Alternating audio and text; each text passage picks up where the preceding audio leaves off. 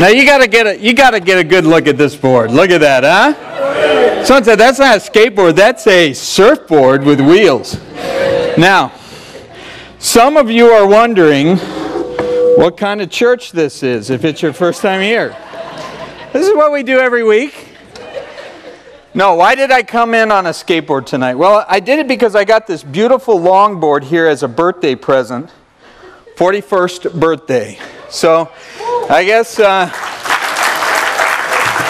maybe this, some guys do some things for midlife crisis. Well, this is it. You know, it's really not midlife, is the thing, because uh, I don't see a lot of 80 year old guys uh, driving skateboards. But uh, it was kind of funny. I went up to the youth camp, and, uh, you know, there they were all in shock when I rode the skateboard, and I was kind of bummed that they were so shocked because, you know, it's almost like a bear riding a bicycle or something like that, where you go, well, why is it so surprising to you? You know, I, I don't feel that old, but I guess to them I am. So, when I came home uh, from a vacation to my office, uh, this was underneath the desk there, and the gift was given anonymously. Uh, no name, just a little sticky note on it that said, Hey, happy birthday.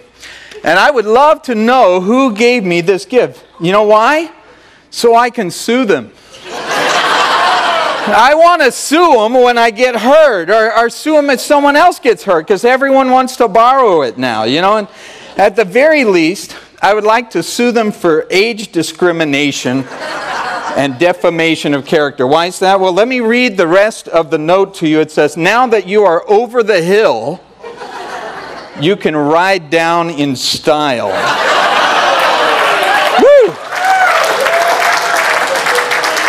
Now, that sounds like slander to me, and so you'll be hearing from my lawyer if I ever figure out who you were. But I'm kidding, of course. I love the gift, and if I break my head bone acting like the silver surfer out in the parking lot, I really have no one to blame but myself. Why? Because they also gave me this skid lid here, and it had a note on it too. It said, "So your wife can have peace." That's what. That's what I said. But you may notice I didn't have it on my head. I have it here in my hand. I had it up here on the stand. And the reason is because I wanted to give you a more clear understanding of some of the things we're going to talk about tonight in 1 Corinthians 6. You may say, How does the helmet help with that? Well, I've entitled tonight's teaching Life's Warning Labels. Life's Warning Labels. And inside this helmet, there is a long list of do's and don'ts on here. And it basically says, I'll boil it down for you. It basically says, if you don't strap the helmet on your head, it can't help you.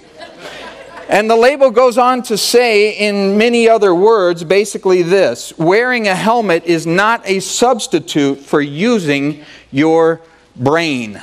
Okay? Just because you have one of these on your head doesn't mean all of a sudden everything is okay. And so, as a man, I know one of the man laws that's out there is that you never read the instructions, right? That's kind of an admission of weakness in a way. It's, it's kind of not the thing that we do as guys. But I love to, to read the warning labels. That's one part of the instructions I always read. Why? Because I get a laugh out of them.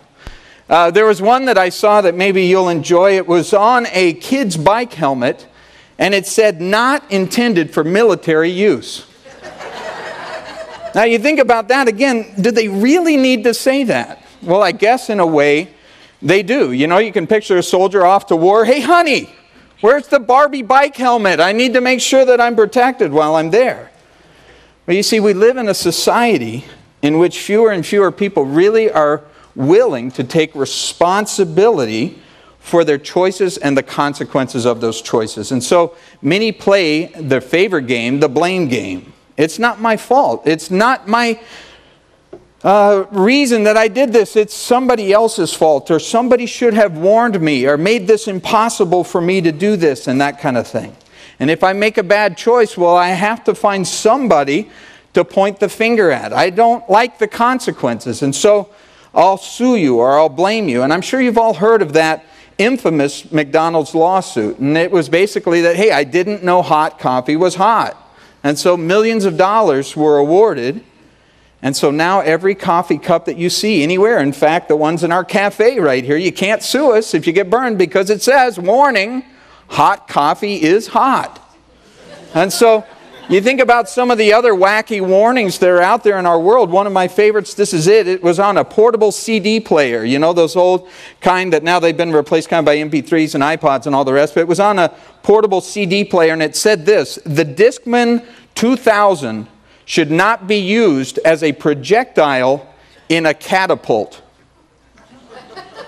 You can picture a guy opening the package and saying, Man, that's why I bought it. I can't believe it. How, why can't I do that? Here's one off a of dog shampoo. It said, Caution, the contents of this bottle should not be used to feed fish. You can picture someone washing the dog, you know, getting rid of the fleas, looks over and notices the fish look kind of hungry, finish the bottle on them. Again, these things are too crazy for someone to have come up with. It's the kind of thing that somebody probably sued successfully and then they added it to the list and say, well, we got to make sure that we warn them they can't do that. How about this one here? Do not drive car or operate machinery after using this medicine. Now, that seems normal enough, but it was on a children's cough medicine. It's kind of like us saying to our daughter, six years old, Sorry, Carissa, can't drive the car to church tonight. You know, you got that little cough, and it may kick in with the syrup and stuff. And then you've got on a laser printer cartridge, do not eat toner. Have you seen that one? now, we get pretty hungry around here in the office. It never crossed my mind to eat the toner out of the laser printer. Now, on a tiramisu, I might be a little more tempted by that, a dessert. It said, do not turn upside down. The problem was it said that on the upside down part of the box. So as soon as you turn it over to read the warning, you've already done what it said don't do. Here was one that the kids at the youth camp really liked. The toilet bowl cleaning brush said, do not use orally. Okay, it's not for a toothbrush if you see it there. Yeah. Christmas lights, you know, that comes around once a year, but this is what one package said for indoor or outdoor use only. now, some of you are thinking, what else is there? Exactly, what else is there? Superman Pajamas said this This cape does not give the wearer the ability to fly. And I remember reading the story about someone who didn't understand that. Now, hair dryer. This was on a hair dryer. Warning do not use in the shower and never use while sleeping or unconscious.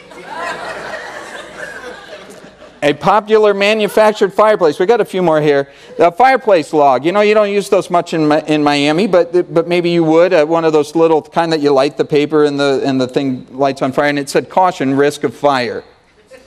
uh, that's why I bought it.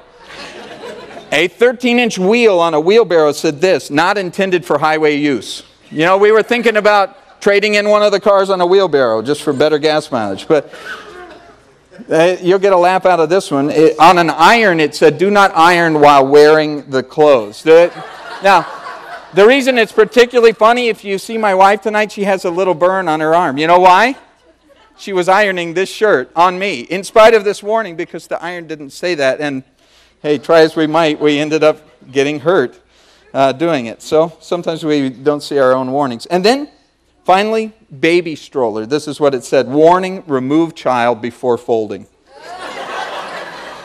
Maybe we should have that painted there in the children's ministry. Now, not all risks and warning and choices and consequences are quite this ridiculous and obvious to us. And I do believe life could and should come with some warning labels. And in fact, it does. That's what I find that God's word in so many ways is. It has words of warning for us. And we ignore those to our own detriment and the detriment of others. In Corinthians, the whole letter is primarily a corrective letter. It's primarily saying, hey, don't do it this way. Don't do what these folks did. And so we've titled the whole series, Pedro and I have titled that Righting Wrongs as we're going through it. Righting Wrongs. And that's what Paul was doing. And each week we'll have a new opportunity to learn from some of the worst examples the church has ever seen. And so in this chapter, it's almost like Paul is kind of sticking some warning labels on their spiritual life and saying, hey, don't make the same mistake. Don't do it this way. Caution, serious injury or death even can result from these things. And so 1 Corinthians 6, if you'll look at it with me tonight, it's again life's warning labels. And the warnings in, in 1 Corinthians 6 are not nearly as funny or as big a joke as the ones that I shared with you there. But we're going to look tonight at four warnings. And we ignore these, again, to our own harm to our own hurt, and very often the hurt and harm of others. And so, warning number one this is it as Paul puts his pen down for them your rights can become wrongs. Your rights can become wrongs. And he says there in verse 1, right off the start, Dare any of you, having a matter against another, go to law before the unrighteous and not before the saints. Now, what is Paul worked up about here? He's saying, Dare you do this? How could you possibly think that this is a good thing to do? Well, what was so shocking to Paul is that Christians in Corinth were suing the pants off each other, fussing and fighting and not only there in the church, which is bad enough, but they were taking it out into the alley, taking it out into the streets, into public forums, the public places. They were fighting in front of the heathens. And so I remind you that Corinth is there in Greece, and the Greeks were well known, very well known, for their worldly wisdom, for their argumentative ability, for their logic, for their law. They loved to debate, they loved to dispute. For them, it was just a game. And they, like so many of us, uh, well, we may find ourselves in the middle of a lawsuit. You know, it was the land of lawsuits, really. And the public trials were a really a spectator sport of sorts.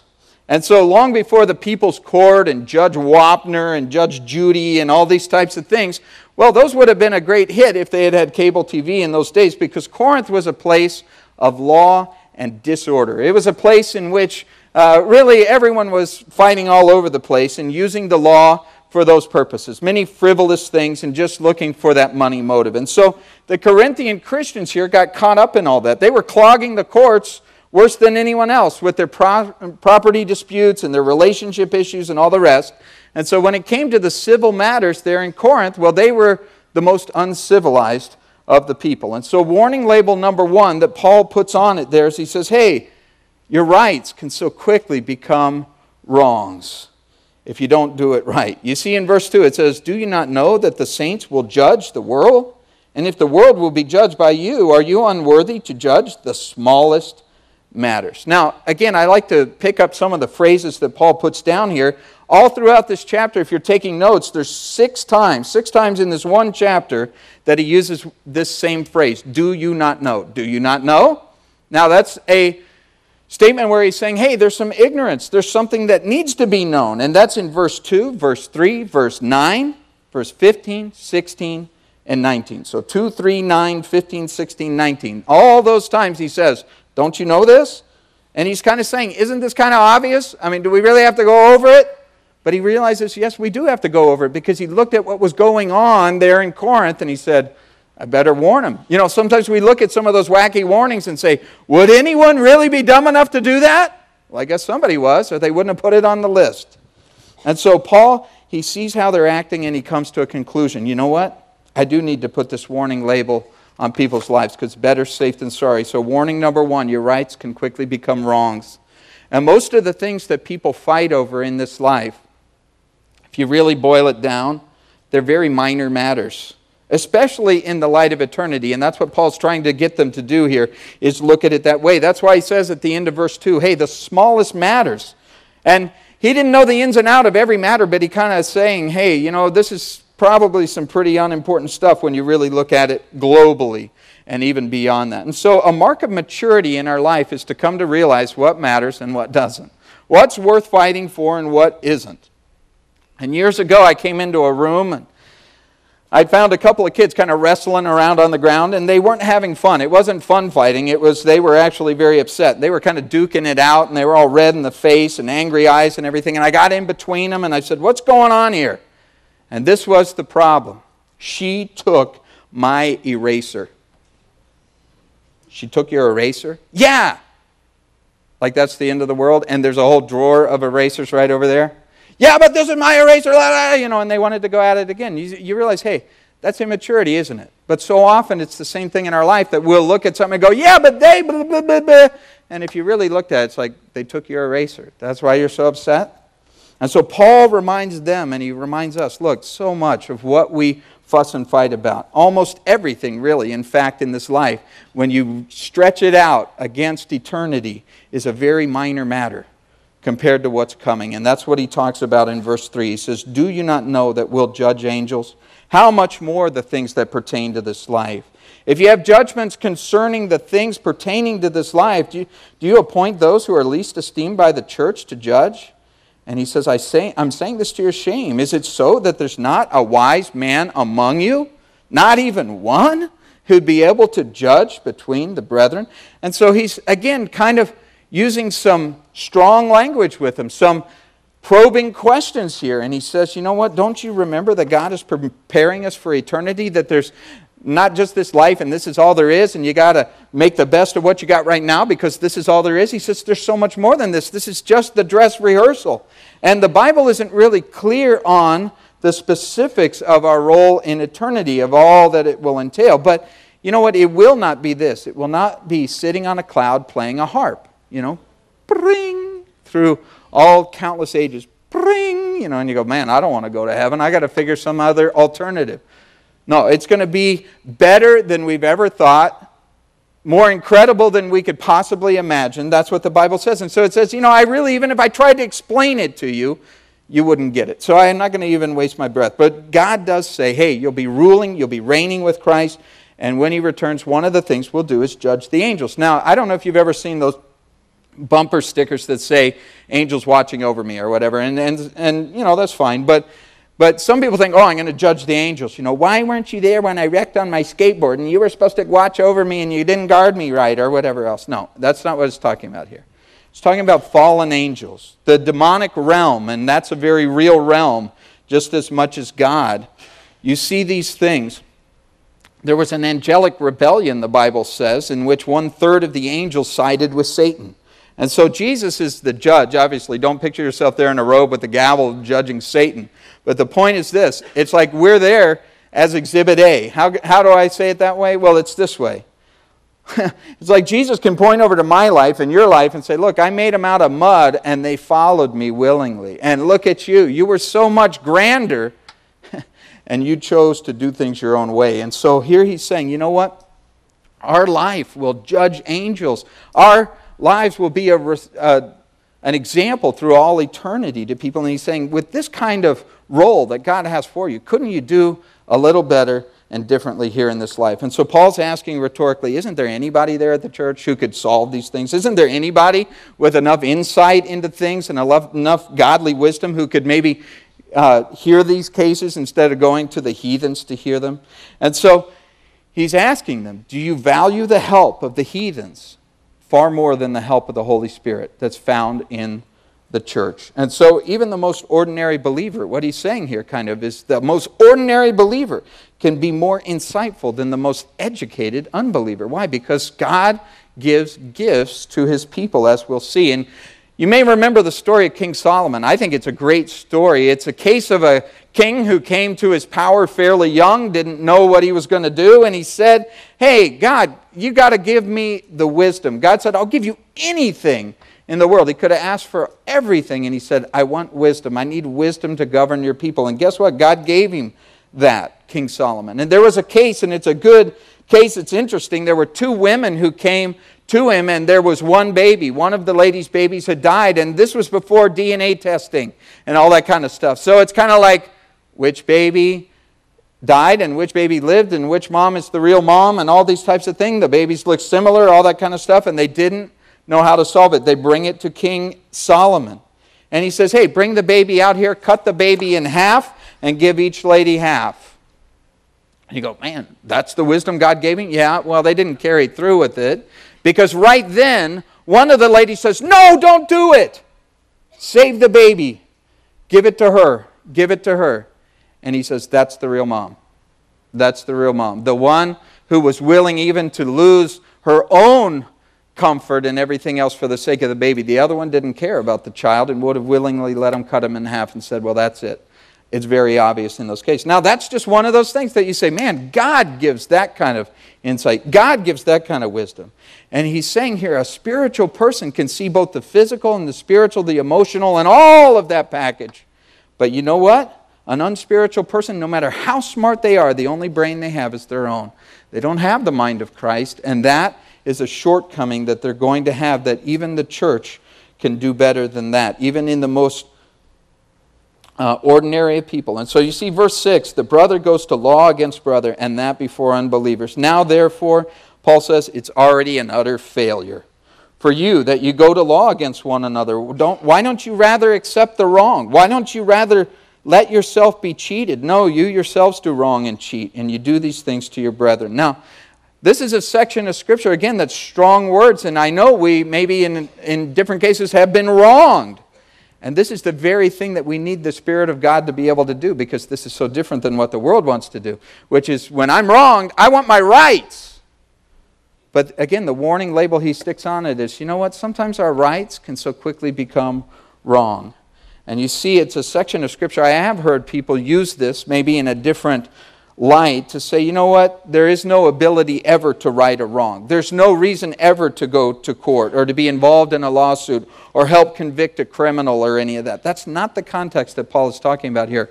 Remember, it, context is king. You have to pay attention when you read the Bible Who's he talking to and for what reason? The issue here was the witness before the world. The witness here was the fact that there was a reason and there was a result. What was it, the reason they were going to court?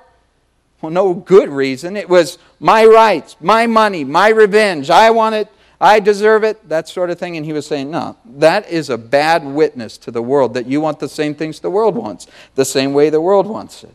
You have that mentality, well, I'll never have to work again if I sue that. No, he's saying that's not going to work. And you see also the result. What was the result? Well, this is the question. What will this legal battle do to the cause of Christ? See, very few people ask that question sometimes. What will be the result in the eyes of other people if I win this? what will they do? Will God be glorified? Will they say, man, that is justice served? Or will they look at it and say, that is shame on the name of Jesus that someone would do that and call themselves a Christian? And so, as Christians, our goal should be the glory of God, and it should be the spread of the gospel. Those are the important things. Those are the major matters. The minor matters, well, it's kind of everything else, even if I get wronged. And it's not whether I'm treated fairly in this life, because you won't be. Jesus wasn't, his followers won't be. Or whether I can make lots of money off my misery. No, there's going to be trouble in this world. And Jesus certainly could have brought an unlawful death lawsuit for what happened to him on the cross. But when you think about it, a Christian suing a Christian, even if you win, guess what? You still lost. If the world looks on and says, that's what Christianity's all about, well, that can be an utter failure. That can be a complete defeat. And remember, nobody who accepts wrong in this world for the sake of God's glory will ever feel like they got the raw end of the deal. Maybe in this life, yes. But again, Paul's trying to remind us we're supposed to be different. We live as if this isn't the only life there is because it isn't the only life there is. And so often he's saying to them, hey, just appeal to the higher court. You mean the Supreme Court? Should I take it to the Supreme Court? Well, no, even higher than that the judgment seat of Christ. And he says, "You're just sometimes going to have to wait for justice to be served there, and it will. And so, warning label number one as Christians, hey, our rights can quickly become wrongs. Warning label number two, you can't sin and win. This is where he comes in verse 9, kind of turning the corner here and saying, you know, let's think about the context. Do you not know that the unrighteous will not inherit the kingdom of God? Do not be deceived, he says. Neither fornicators or idolaters or adulterers, nor homosexuals, nor sodomites, nor thieves, nor covetous, nor drunkards, nor revilers, nor extortioners will inherit the kingdom of God. Now that's pretty clear as we read it. And it's another verse 9 do you not know as you think about it? And it's kind of again, Paul saying, isn't it obvious? Do I really need to say this this clearly? Well, I guess I do, he says uh, based on the behavior that he was observing, based on the things that he saw in the culture and the church, he says, I guess I do need to stick a little warning label on sin and tell you this. You know what? You cannot sin and win. Don't be deceived. You can't live like hell and still expect to go to heaven. And the unrighteous will not spend eternity with God. Punto. That's what he's saying there. Verse 9 and 10 are an example of what we see in several places in the scripture. Uh, I call them sin lists. You know, just kind of some long uh, lists of different activities and attitudes and different things that are clearly sin. And maybe some of us can look down, or some of you can look down on 1 Corinthians 6 9 and think, well, good, I'm off the hook. I'm nowhere on that list. I'm not a sodomite, I don't think, whatever that is. I'm not a drunkard. I'm not a thief, or some of those things there, you know. And we tend to be, I believe, sometimes as believers, pretty vocal, pretty venomous even sometimes against certain sins and kind of close our eye to other ones, you know. Oftentimes, ones that we personally struggle with, well, you know, we're all human and God's grace and all that sort of thing. And one we don't, have never struggled with, well, that's an abomination. I can't believe that, you know. And some people, again, are very outspoken on things like homosexuality, you know, but not, not so upset about coveting. Well, you know, coveting, that's not nearly as gross in God's eyes. But you know, it's in the same list. And they're both sin, and they're both something that will keep a person out of heaven if not repented of and if there's not a receiving of Jesus into a person's life for real lasting change. And so you see thinking about another list in another spot, Galatians 5:19. Galatians 5:19, you might want to write this one down and if you survive this list here in 1 Corinthians 6, this one will definitely get you. I'll, I'll show you why. Galatians 5:19. It's talking about the works of the flesh. And this is what it says it says they're evident, it says they're obvious. They're not something that anyone could really reasonably discuss, although some people would want to. But he says it's so obvious. They're adultery, he says fornication, uncleanness, lewdness, idolatry, sorcery, hatred, contentions, mm, jealousies, wow, outbursts of wrath, selfish ambition, hmm. dissensions, heresies, envy murders, drunkenness, revelries, and you say, man, I'm still doing all right. But the last phrase, and the like. Oh no. That's one of those kind of all of the above or none of the above kind of questions where you go, oh no, it's, there's some other stuff in there. And the like. You know what he's saying there? Even if your set of sins, and we all have a set, even if it's not specifically listed in this list here, all have sinned and fall short of the glory of God. And there's no way that anyone could get to the end of a list that ends with and the like and still say, nah, I don't have any problem with any of those things. And see, I think there's a lot of reactions when it comes to talking about sin like this. And the first one is this well, I disagree with one of the things on that list. I don't agree that that's a sin. I think we ought to be a little different, more modern, and that sort of thing. Those aren't sin. Those are diseases. Don't you know that? Don't you know that those are this or that, or choices that people make, or, uh, you know, it's because of something that someone, someone had happened to them and these types of things, acceptable alternatives. It's just the way I am. I was born this way, or something like that. Blame it on others, that type of thing.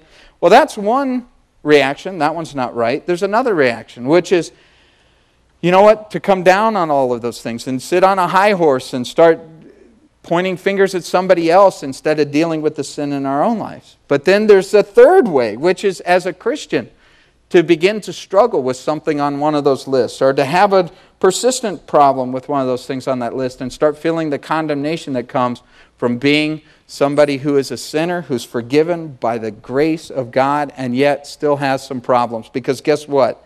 everybody still has some problems. And so, you know, you look at that thing and you say, well, maybe I'm not going to heaven at all. None of those are the ways that we want to look at it. How do we want to look at it? Think about this the issue is the practice of sin versus the presence of sin in our life. You know what? Practice, they say, makes perfect. And I certainly know what it is to be a person who wants to practice sin to get better at it. You know what I'm talking about? Where you're like, man, if I could just do this a little bit more, I could get a whole lot better than I am already. I'm kind of amateurish in my sin, but I'd like to get better.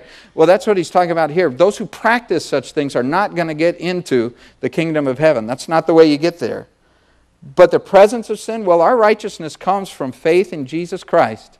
And it is His sinlessness that is our forgiveness, not our sinlessness that is our forgiveness. And so you think about that, we all have to deal with the presence of sin.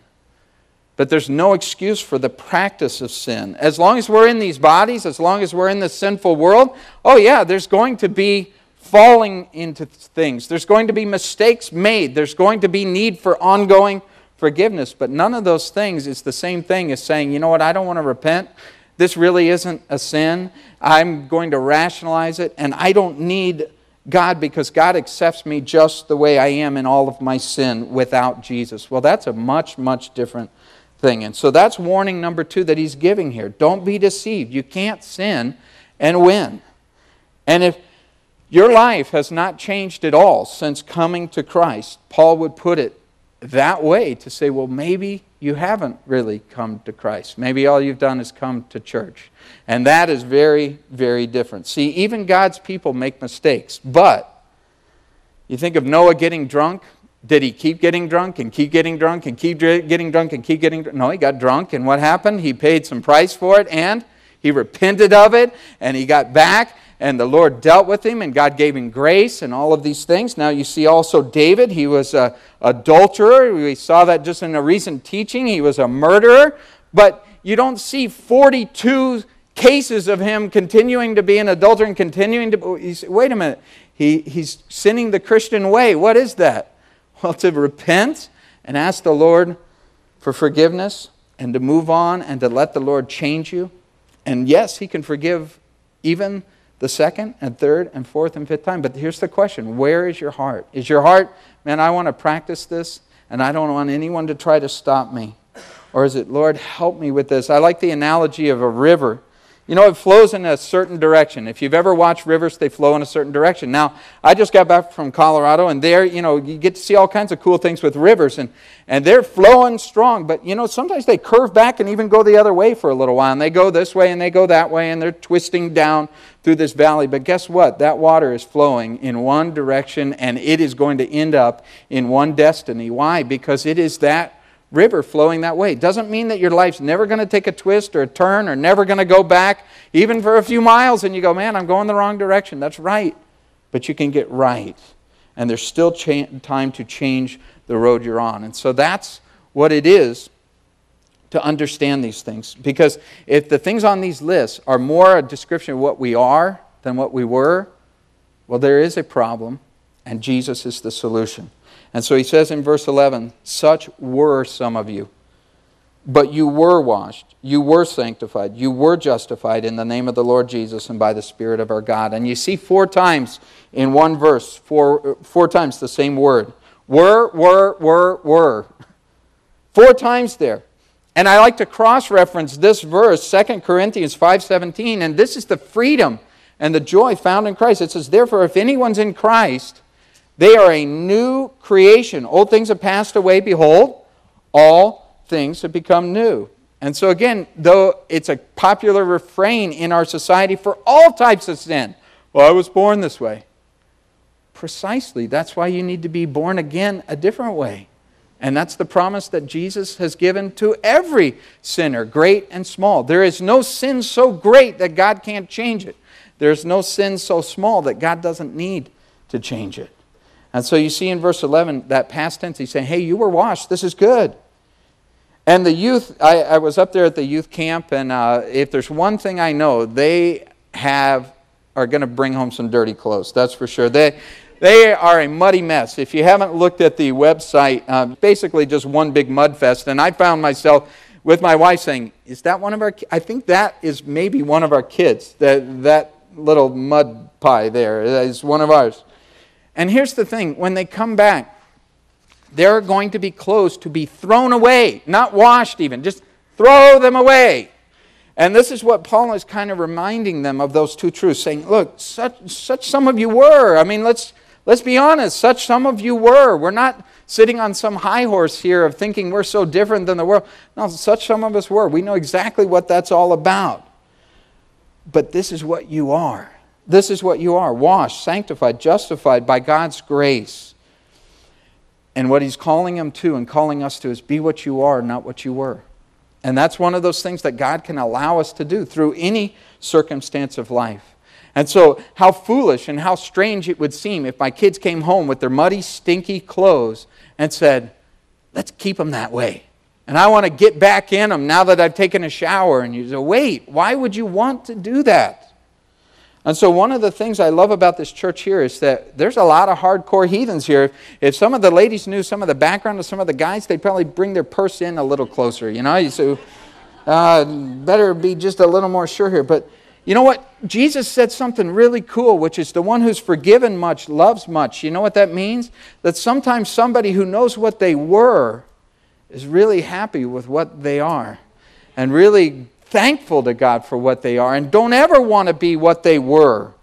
again. But they're not going to look down on someone who's still in the worst stage because they say, Man, I know exactly what it is. And I know how empty that was. And I know how uh, frustrating that was. And I know how much I tried to change on my own until I came to Christ who changed me from the inside out. And so there's no way we will be habitually unrighteous if we come to Christ. But there's no way we'll be self righteous if we really remember what we were and what He's done in our life. And so, warning label number one your rights can become wrong. Warning label number two you can't sin and win. The third warning label, if you're writing it down, the lawful can be awful. The lawful can be awful. Now, verse 12, it's just a single verse that has so much in it that it could literally radically change your life if you really understand this part right here. Paul says a little quote, and he says, All things are lawful for me, but all things are not helpful. All things are lawful for me, but I will not be brought under the power of any. Now, most scholars looking at this in the construction of the original language believe that Paul is quoting a quote from them and then responding to it when he says, All things are lawful for, for me. Well, that was something the Corinthians were throwing around, just a little phrase. Hey, I heard about God's grace. All things are lawful for me. And Paul says, Well, okay, that is true if, if you allow me to elaborate on it. See, Paul warns the difference here, a very big difference between the lawful and the awful. And the Corinthians were taking some of Paul's preaching out of context, as so many people do, and applying them in such a way that they're saying, hey, all things are, are lawful, right? I mean, I've been forgiven, I've been freed, I've, I, God's grace, He'll forgive me of any and all sin, so why not sin? There's no consequence, right? And this is what I call grace abuse, or, or mistaking grace for grease. They're two very different things. Uh, grace does not allow you to slide into sin like grease. Now, there's a threefold test that I think could, could really make such a difference in your life if you write it down and think it through. This is verse 12 here. He talks about he says, All things are lawful, but not all things are helpful. Uh, just putting that little thing on, on something and saying, well, there's no law against it, but is this helpful? Is it helpful for me? Is it going to advance me spiritually? Is it going to advance others spiritually? Is it helpful? Oh, yeah, I could do it and even be forgiven, but is it helpful? Is it going to put me further down the road I want to go on, or is it going to take me back on the road I don't want to go on? Does it have more to do with who I am in Christ or who I was before Christ?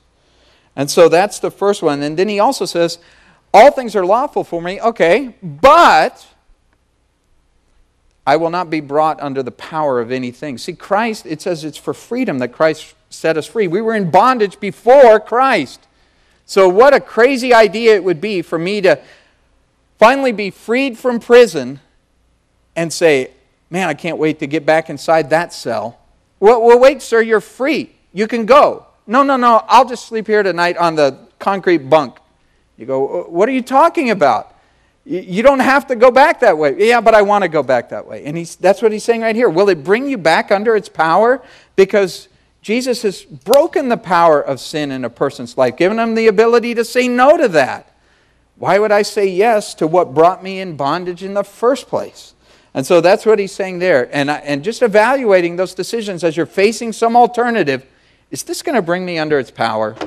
I'm not saying that I can't do it or that there's some verse somewhere that says don't do that, but is this going to bring me under its power? Am I going to end up a slave to it instead of free in Christ? And then you see one that we'll see later in the chapter, actually, or later in the book, 1 Corinthians 10. I'll just tell you that, and it's later in that chapter. Paul again uses this phrase, and he says, All things are lawful for me, but I'm not going to do anything that would cause somebody else to stumble. What does that mean? That means I put a limit on my freedom sometimes because of love. See, I, I might be free to go do something. We did some rock climbing when we were in Colorado, and I was there with my family, and I was there with a younger child, and, and I'm free to go up and down the rocks and everything. And, but would I do that in such a way that would entice my six year old to fall down the cliff? No. But there's no law against it. There's no warning that says I can't. Wait a minute.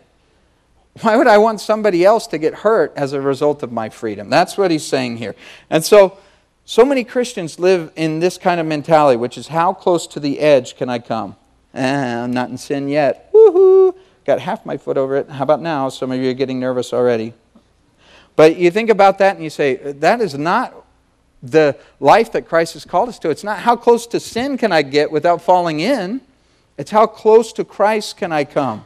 How much can I say, hey, I want to be somebody who has an effect on the world around me, not for bad, but for good? And so the lawful in our life can be awful, not something that specifically the Bible is going to say, you can't do that, here's the verse.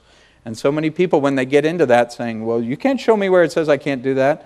Well, again, that threefold test will keep you in a spot of God's blessing like nothing else. You see, warning number one, your rights can become wrong. Warning number two, it's that you cannot sin and win. And the third warning was the lawful can be awful. And then that brings us to the fourth and final one that we'll spend time on tonight, which is you need to control your urge to merge. And that is found in verse 13.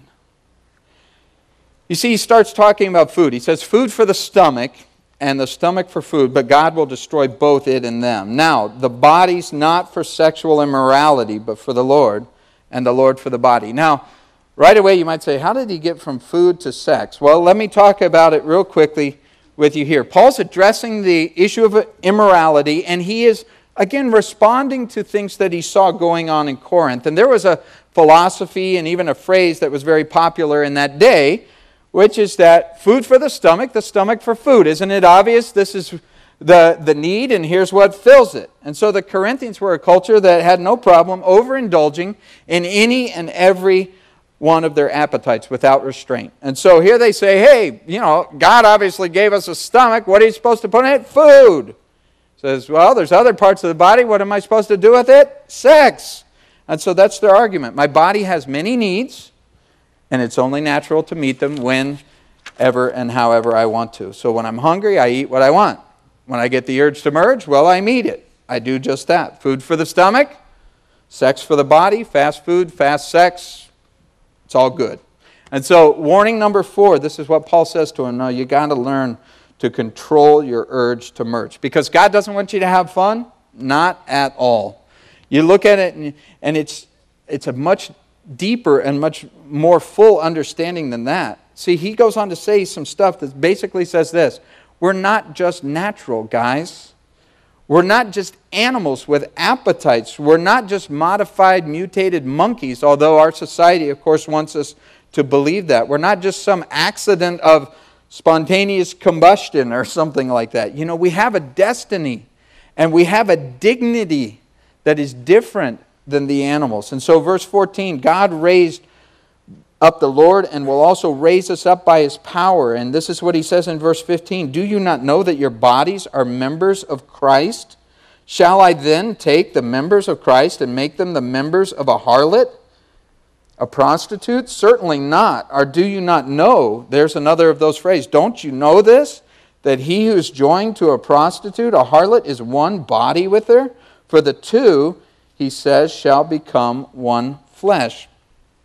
Now, this last part here of verse 16 is a quote from Genesis 2:24, okay? It's going all the way back to the beginning to God's design for marriage, which is a man and a wife for life. And it says, "The two shall become one." Now, notice that God's word is very precise. It doesn't say the 1000 shall become one for one night or maybe a weekend or maybe a year even or something like that. No. Corinth, see, it had a thousand temple prostitutes. Uh, that's a lot uh, in the city. And, and they actually had sexual immorality as part of their religious practice, as part of their worship service. Uh, you know, it was just a big orgy. And a lot of people, of course, probably were very faithful in their attendance to church, you know, at that point. It's like, hey, mom, go for services this weekend. I'll be there, you know, youth group and all the rest. No, we just got back from the camp, and one of the things they do there, and I think it's really funny and good the way they do it, which is that they designate the guys as blue and the girls as red, and they say, hey, there's no purple, not for this weekend. There's no purple. You get red and blue together, you make purple. And they got the purple patrol out on you. They got the, they call them the purple ninjas. And they'll come and get you purple, you know, but I was up there with Lynn, my wife, you know, and purple's okay when you're married. But uh, so we're walking along hand in hand at the camp and everywhere we went they were going purple, you know, and calling on us. But you see in these things, you know, that there was a lot of purple going on in Corinth. And so many people think that, you know, Christianity is very prude in this subject. And of course, oftentimes, unfortunately, people mistake what the Bible says and don't really go along with it either and have a different understanding. And their own hangups or whatever problems may lead to something that's not a biblical teaching. But I believe that our culture is certainly obsessed with sex. But it has a very low opinion and view of it, is the bottom line. And the Bible has a very high view of it. It actually has a more high view than our society does, which seems to worship it in some ways. And a lot of people do believe that the Bible teaches that sex is dirty, but not so. The Bible's not the least bit ashamed of sex. And in many places, God's word basically says to the married, hey, go for it. Drink deeply, my friends. Enjoy. And the world thinks, hey, we're missing out, man, you Christians, with all that. You know, the way that you keep yourselves pure and things like that. I say this you know what? You haven't had good sex until you've had God sex. Now, some would say, what in the world are you talking about here? I'm talking about this. I'm talking about somebody who knows beyond a shadow of a doubt that, hey, we could pray in the bedroom, we could worship in the bedroom, we could actually have God present here and not be the least bit ashamed of that, actually be knowing that His blessing and His goodness is upon what we are enjoying here. One man, one woman for life, spending a life, loving and learning to love each other, giving to one another physically, emotionally, spiritually, not just organs, but two human beings fully alive in Christ together. And that's a way to share a soul with a person that God intended for us that the world is totally missing out on if they do not have the blessing of God upon their union in that way. And I do a lot of premarital uh, counsel here, and I do a lot of postmarital counsel here, and I do a lot of marital in the middle counsel here. And it's really ironic. You know, we talk about it sometimes that before you're married, man, Satan will tempt you to have sex with any and everyone. But after you're married, he'll tempt you not to have sex with the very person that God has put into your life for you to enjoy that with. And the problem so often is that because if a person puts the physical as the foundation, it's a terrible foundation. It's not meant to be the foundation.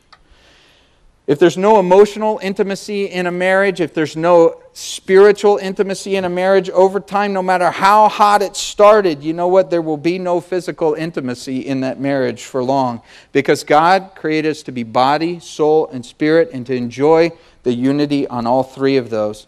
And if a person says, Well, I'm going to unite our bodies without uniting our souls and spirit, well, that's not going to work. It destroys the soul. In fact, it's just to take another little piece of my heart now, baby.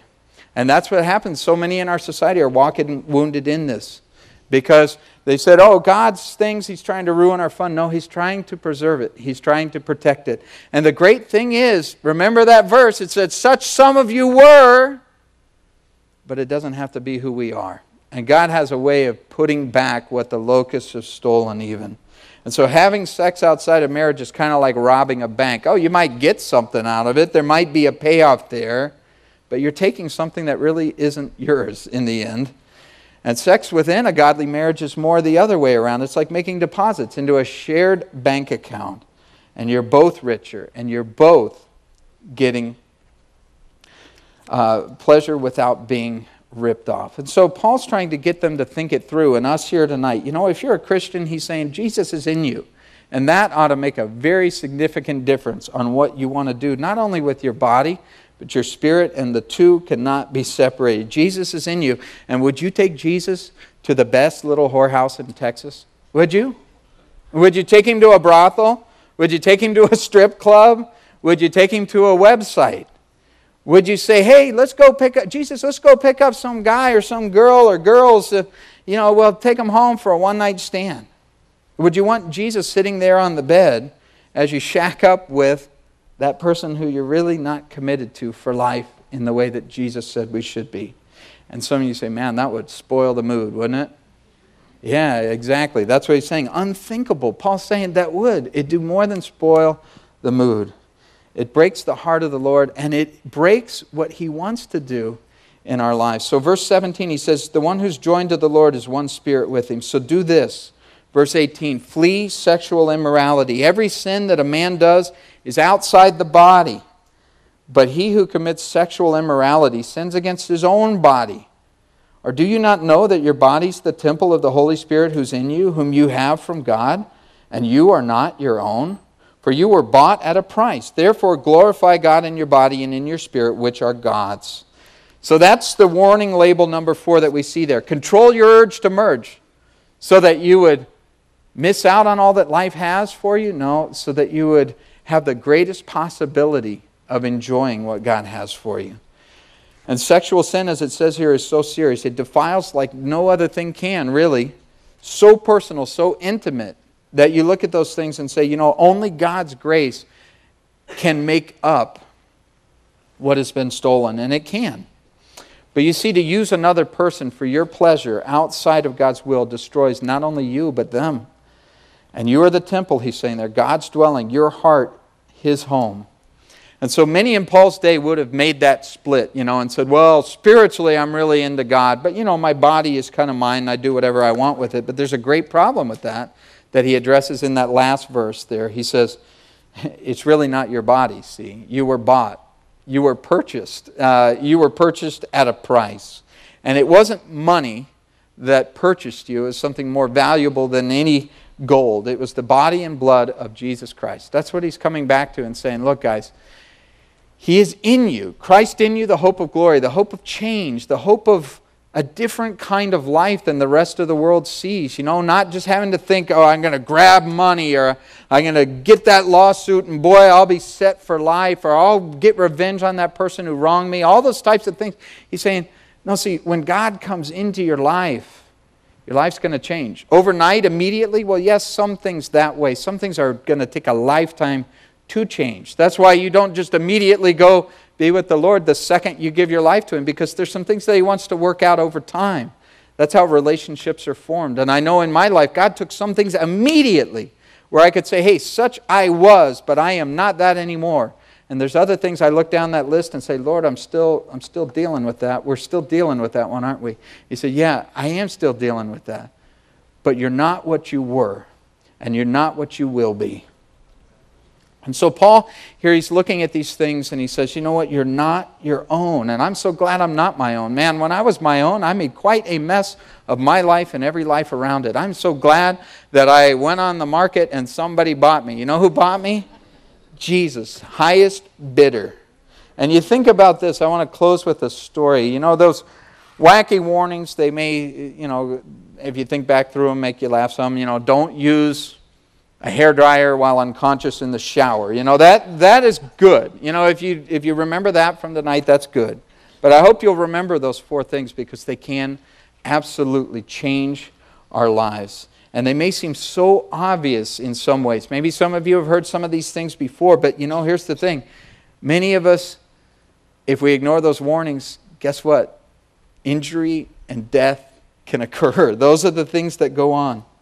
And somebody probably died for a lot of those wacky warnings that you go, are, you know, is maimed for life. And you go, would anyone have tried that? Yes, somebody did. And so I close with a story, just thinking about ownership and what it means in our life and what it does for us. There was a boy who was carving a little boat, and he spent a long time on it, carved it beautifully, colored it wonderfully, you know, made a little sail for it and everything, out sailing it on the river. And one day it, it got away from him and it floated downstream and he wasn't able to see exactly where it went. And so he lost sight of it. Thought he'd maybe never see it again. And weeks later, he was walking along through a little store and looks over in the window of the store, and there's his boat. And he knows it's his because there's only one like it in the whole world. And it's sitting there, but it has a nice big price tag on it. And he looks at that and he thinks, man, it is worth that. It's worth that and more. And he goes in to talk with the shop owner. And he said, I'm sure he'll understand. You know, I, I it's mine. You know, so he goes in and he tells the shop owner, hey, this is mine. I can tell you anything about it. I can even tell you what's on the inside of it that nobody else could see. I can tell you that's my boat. I lost it a few weeks ago. And the man said, that's true. I found it a few weeks ago. But hey, you know, finders keepers. Sorry, son. You can pay the price like anybody else. And so the kid went home and he began to mow lawns and he began to wash cars and do whatever he could do to earn whatever he could. And he finally had enough toward the end of that summer to pay for that boat. So he went back into that store and he bought it back. And when he got home, he told his dad this You know what? I love this more than I have ever loved it because it's doubly mine. I made it and I bought it back. And it's worth more to me than anything could be, and it's worth more to me even than before I lost it. And I believe that really reflects the heart of God as you think about some of these warnings that He brings to our life. Why does He do that? Because He knows what it is to lose us, and He knows what it costs to buy us back. And we sail away into sin, you know, and we say, oh, this is the great life this way. And we have to remember and come back to sometimes what the price was paid and how that love was shown by not only making us and creating us, but recreating us in Christ. And so I want to close with an opportunity here tonight, as we do each time we meet, just to think on what this means for a life change for you. And I'm going to ask uh, the musicians to come back up if they're in the room. Thank you. And uh, just close us out with a song. But I want to give an opportunity, as we do here, for anyone here who's not sure of that commitment that they've made to Christ. You know, and again, I, my desire is not to inject false insecurity in anybody's life. But, you know, Paul in here said, hey, if this is a characteristic of your life, don't be deceived. Don't think that, you know, all dogs go to heaven and, you know, just good folks go and all that type of thing. No, the Bible is so very, very clear on what it means to be a person who it says is washed, is sanctified, and is justified by the Holy Spirit. Because again, it's not a question of, okay, God, I'll do a lot better from here on out. You've given me some warnings, I'll try and do better. No, the Bible says it's Christ in you, the hope of glory. I spent a good part of my life trying to be a better person, trying to be a better husband, trying to be at least not you know, in the bottom half of humanity. And, and in some ways, you know, you can say, okay, well, God grades on a curve, right? No. The Bible says God grades on a cross. And he looks to the cross and he says, that's the price paid. That's the price paid, you know, bought back. And if you don't know for certain that you've been bought back by the blood of Jesus Christ, tonight is your night to make that decision, to make that declaration. And all you need to do in doing that, in a few minutes, I'm going to give you an opportunity to raise your hand. And by raise your, raising your hand, what you're saying is yes to Jesus, yes to Him as Lord, as Savior, as friend in your life. And in the same thing, you're also saying no. You're saying no to sin. You're saying no to the old life. You're saying no to what you were. And yes to what God says you can be and would be in Him. And so I'm just going to take a moment to pray. And if there's anybody at the end of that prayer, if you know that you need to make that decision tonight, I'm going to give you an opportunity to raise your hand as we're here together. Father, I thank you for uh, your word, which gives warnings, Lord, but they're warnings born out of great love. And God, I pray that the great love that is shown in the life, death, and resurrection of Jesus, Lord, that that would hit the heart of every person here. And if there's anybody here tonight who does not know beyond the shadow of a doubt that they have been changed and washed and sanctified and justified, even if they don't even know what all those words mean, Lord, we know what it is to look at our life and say, hey, it used to be going that way, but I want to go your way, Lord. I don't want to do it my way anymore. I don't want to do it the way the world does it. God, I pray that you would give them the courage to make that decision and to make it public here tonight as we pray. And here, as our heads are still bowed and our eyes are closed, I'm just going to give an opportunity for anyone here in this room, if you know I'm talking to you and you need that, you need Jesus, you just say, Pastor, I want to pray that prayer to invite him into my life, to make him Lord and Savior. I'm just going to ask you to, right where you're sitting, to raise your hand at this time. Anybody here in the room? I see you there. Praise the Lord. Anybody else here? I'll just give it a couple seconds here. An opportunity to make your destiny sure. Anybody here?